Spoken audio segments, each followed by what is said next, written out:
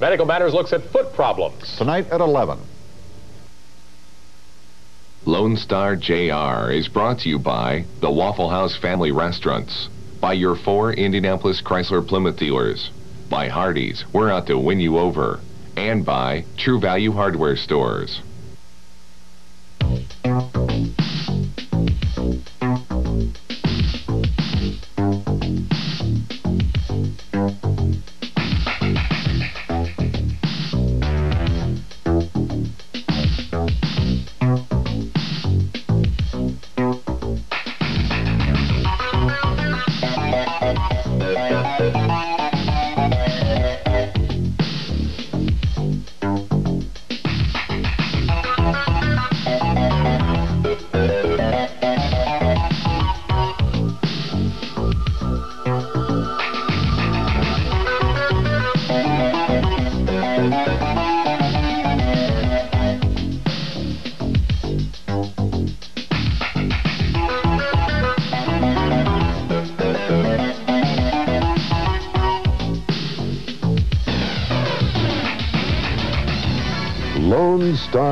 JR.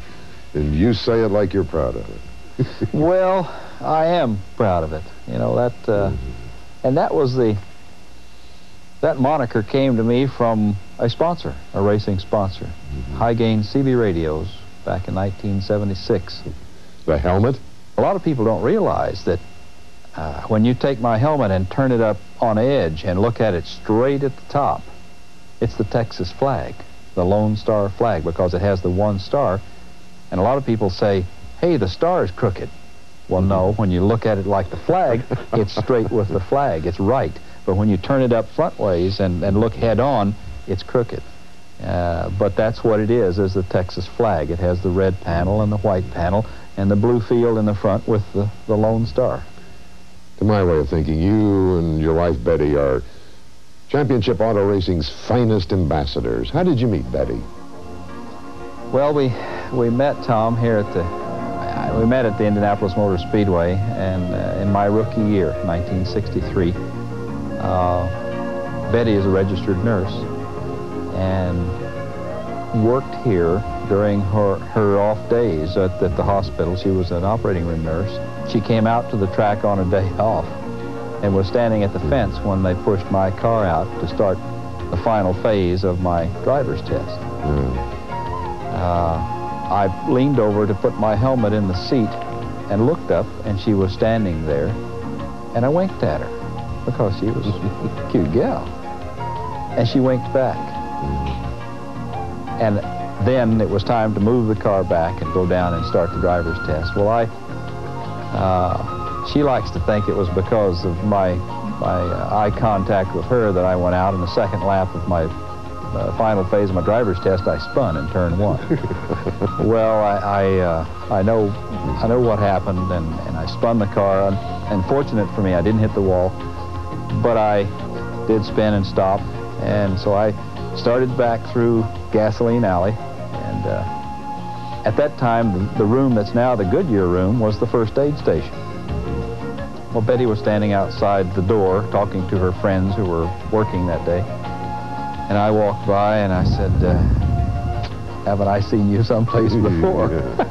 Famous line. Oh, my. And uh, we talked a little bit, and I asked her if she, what she was doing that evening, and she said, well, she had plans. And I said, well, how about tomorrow evening? She said, well, uh, sure, you know, I maybe we'll, I'll see you maybe tomorrow, and, you know, da-da-da-da. So it went on, and I I forgot about it. And I did see her the next day, and I you know, said, how about this evening? And so we had a date. Mm. Two months later, we were married. Yeah, Romance born at the Speedway. Yes.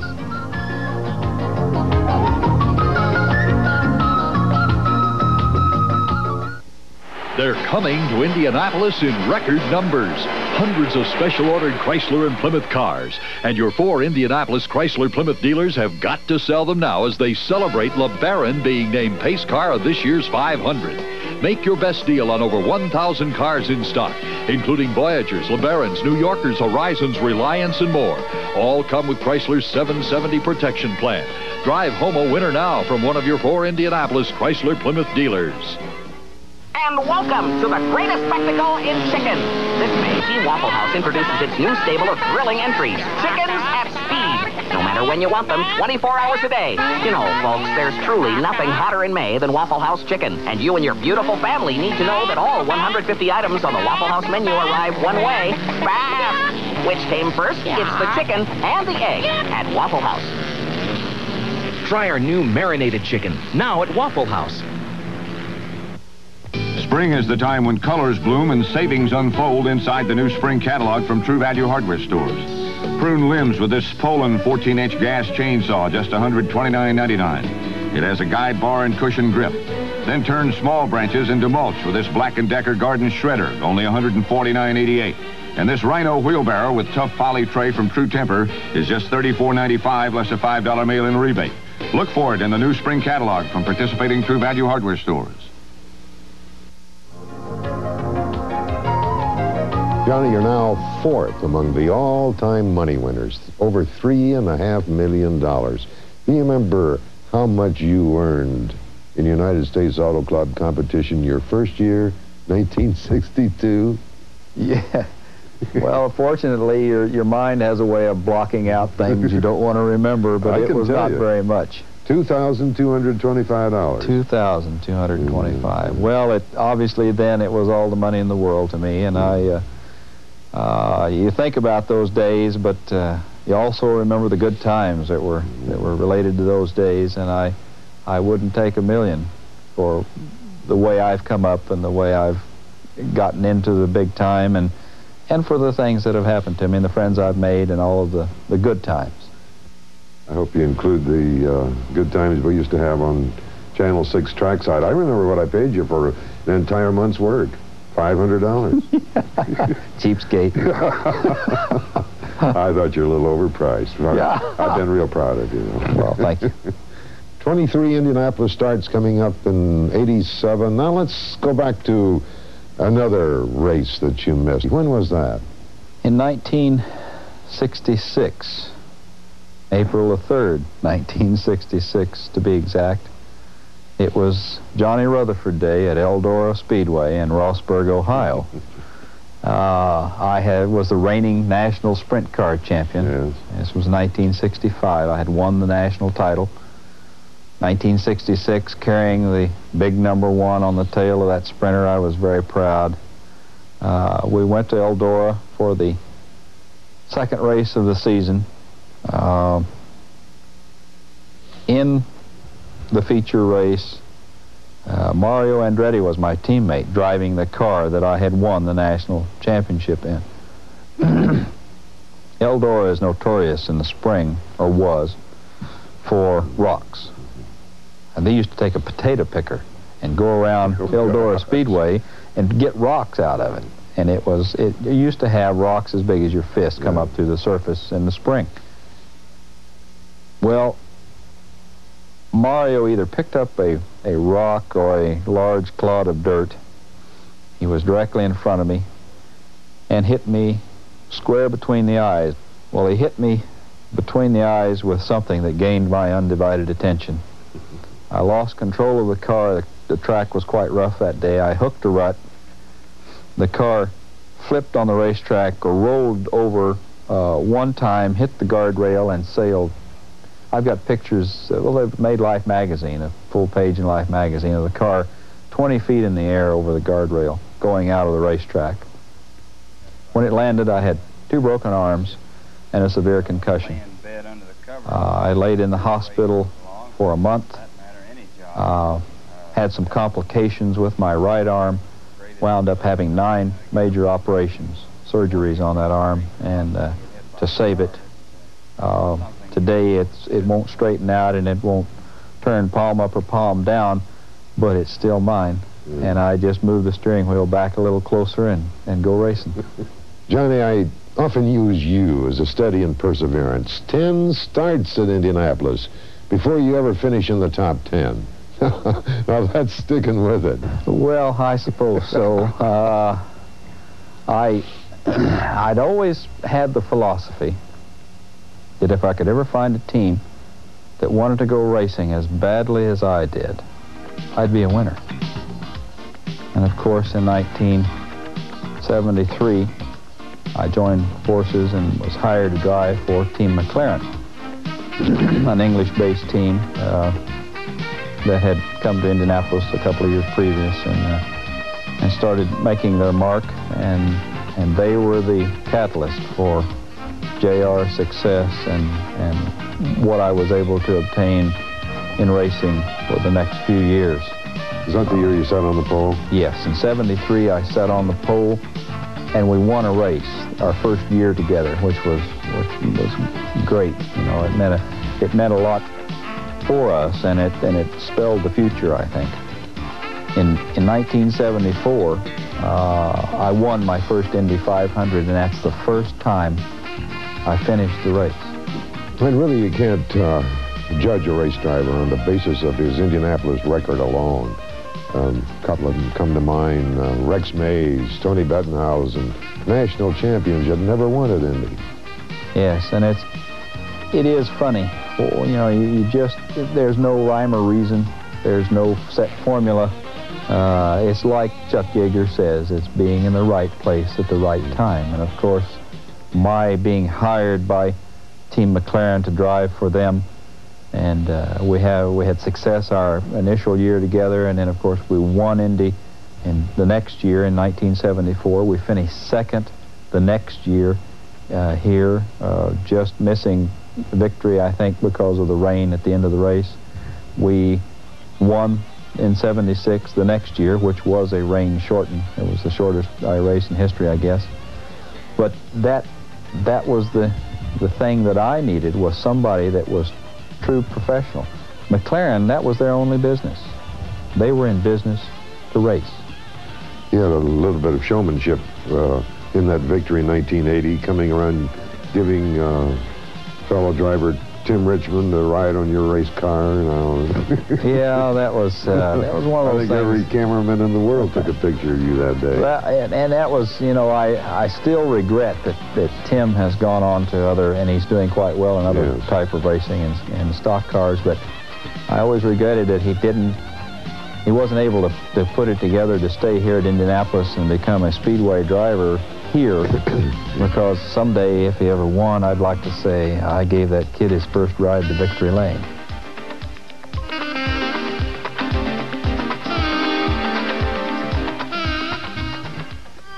Experience the most luscious sunrise in the world. Hardee's Canadian Sunrise Biscuit.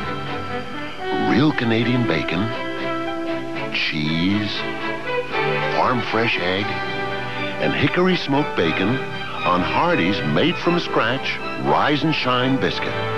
For a taste so special, it'll brighten your whole day. Hardee's, we're out to win you over. Randy Woods is an employee relations specialist at Indianapolis Power and Light. There's a lot of technology involved in providing your electric service, but we still depend on people. That's why we go out of our way to employ the most qualified people. And then we continually provide training and career counseling. Maintaining high productivity is one way we're able to assure you of the most dependable electric service at the lowest possible cost.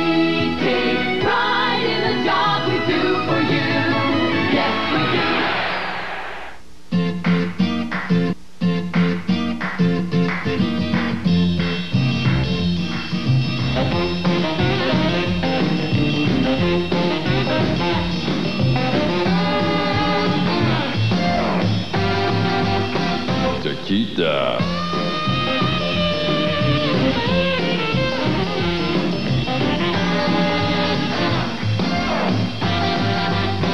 Chiquita. Tequila wine cooler. It's bad.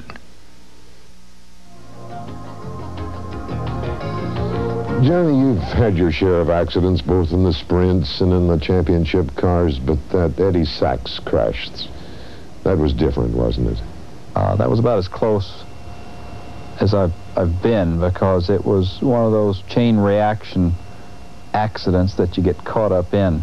And, uh, and it's, it's really funny that I can still remember that today as vividly as if it had happened yesterday. Uh, uh, we were running in the race. I started, I think, outside in the, in the fifth row.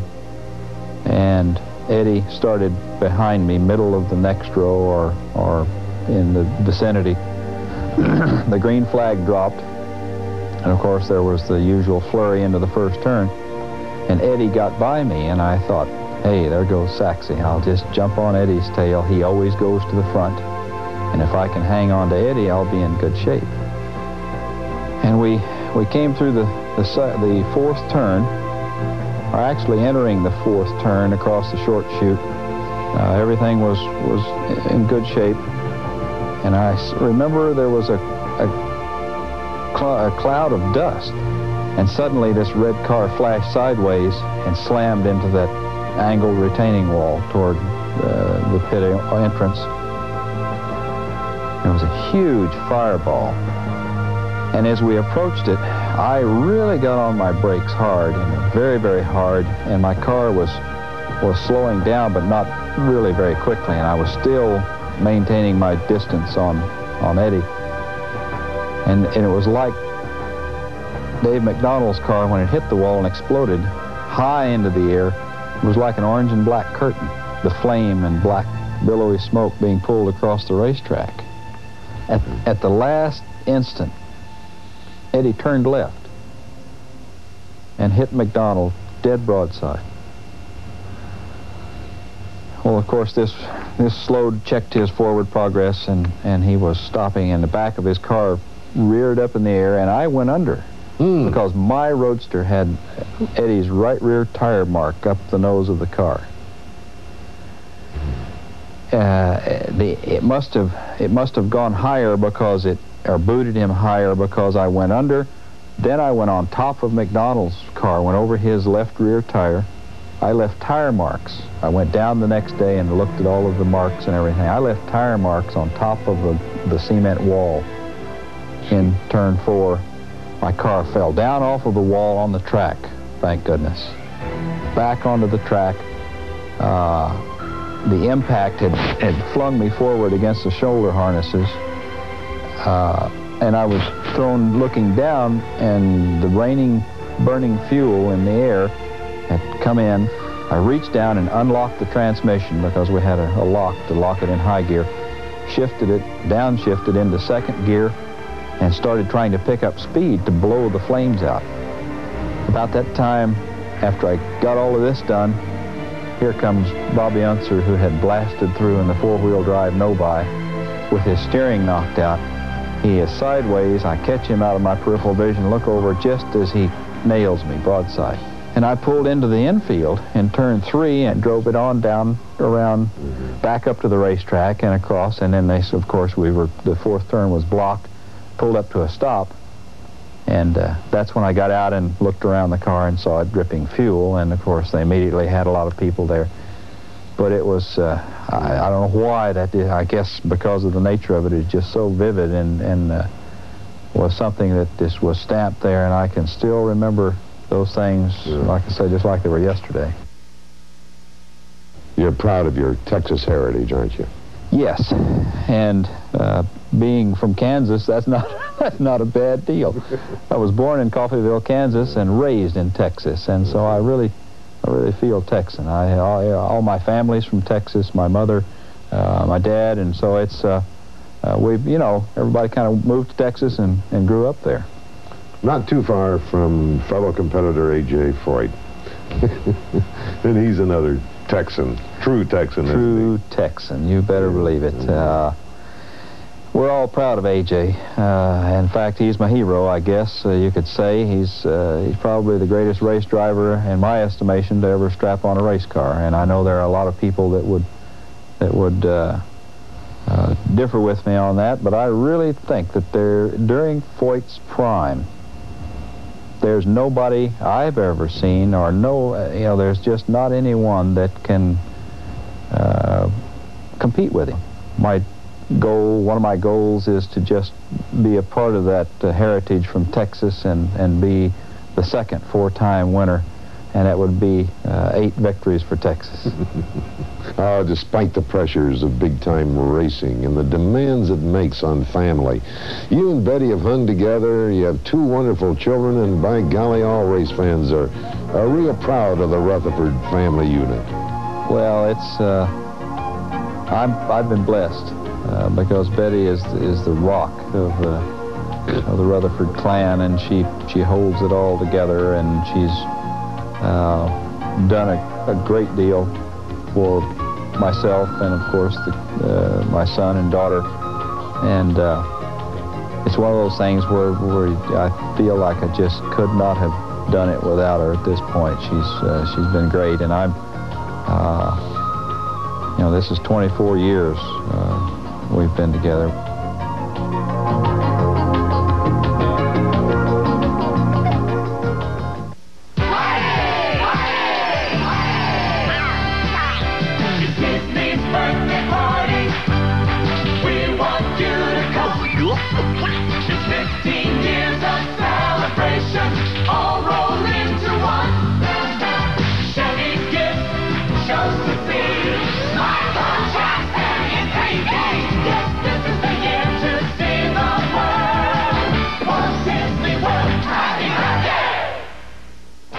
Buddig family has been making delicious thin sliced Buddig meats for generations. Buddig was there in the 50s, Honey, these will go great with our game of canasta. the 60s, the 70s. I hope you like alfalfa sprouts on your sandwich. Even today, Buddig meats are made the way they've always been by the Buddig family. Over the years, a lot has changed, but one thing hasn't the great taste of lean Buddig meats.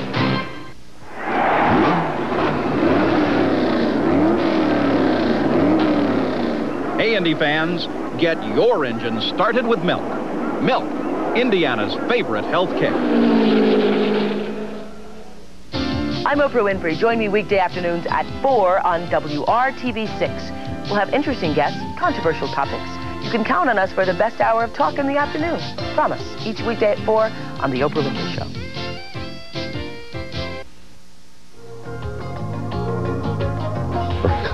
Rutherford and Capels.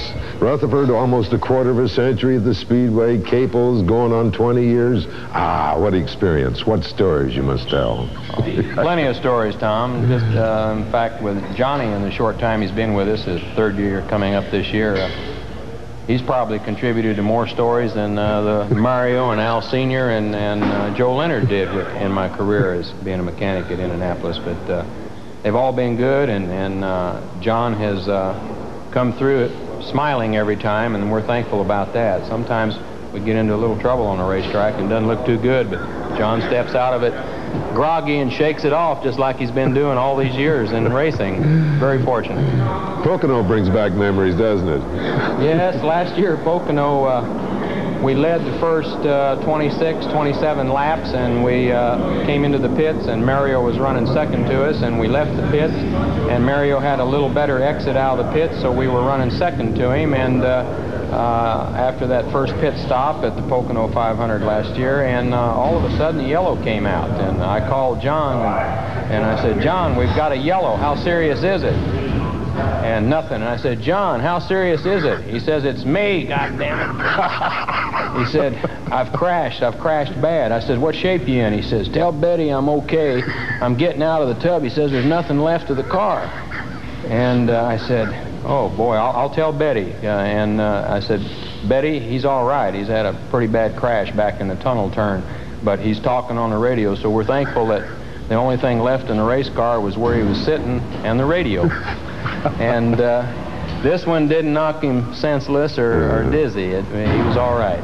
Been a few, fortunate. been a few times he's been knocked senseless, hasn't it? Well, the year before at Pocono again, we were uh, leading the race. We had made the uh, sixth pit stop, and we were leading Al Unser Jr. handily by four seconds, and uh, we crashed down in turn one, and he didn't respond to the radio on that one because Dr. Olvey and Dr. Trammell were trying to revive him. He was mm-hmm. unconscious, mm-hmm. but he was all right from that one. He just had been knocked unconscious, so anyhow, John has a way of reporting into us uh, what, what shape he's in if he's involved in an accident. And also, like at Mid-Ohio last year, he had a way of reporting in the condition of other drivers, like that Josele accident. That, That was a uh, bad accident. That was a tremendously bad accident and complete view of everybody in the pits. And we're under a long, prolonged paced yellow.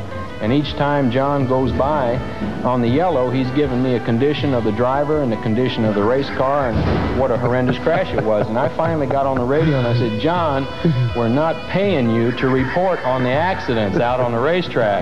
Just drive that race car and stay where you're at. You got eight laps to go, and it looks like it may finish under the yellow because of the extent of it. So after that, he didn't report in anymore. John Capels is is from my school.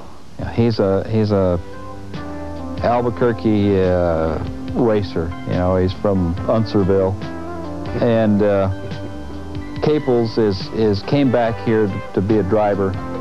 Uh, drove sprint cars, won a feature race at uh, Hamburg, New York, or somewhere back east, uh, and decided then that he would rather be on the mechanical side of things. And John is the old school, and he believes in the old ideas in the way you do it. Uh, I'm blessed with Capels because he's the kind of guy that when he sends a race car out on the track to race, it's ready to go the distance.